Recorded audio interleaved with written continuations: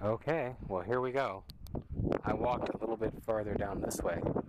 I found my next one, which is 150. And there you go. I just threw a picture up on Instagram.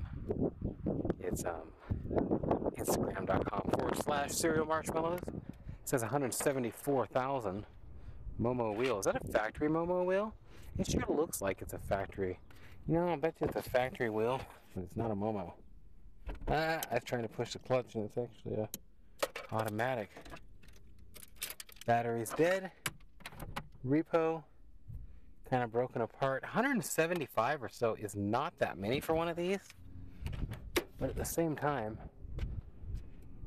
the kind of, well, let's just say it, the kind of kid, quote kid, don't mean it bad, that drove it, I guarantee you preservation and longevity was not while he what he was thinking while he spray painted WRX on his air breather.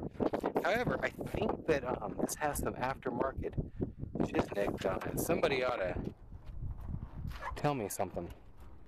I'm going to upload this to my channel. I'm going to do it as a singular video, just as a, well, singular video. That's that. It's a 2004 Subaru WRX. I think it's an S.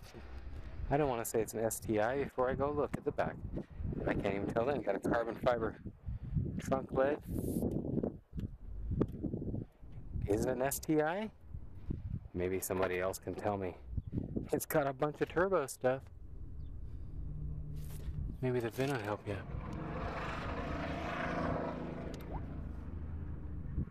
Now you know. Okay.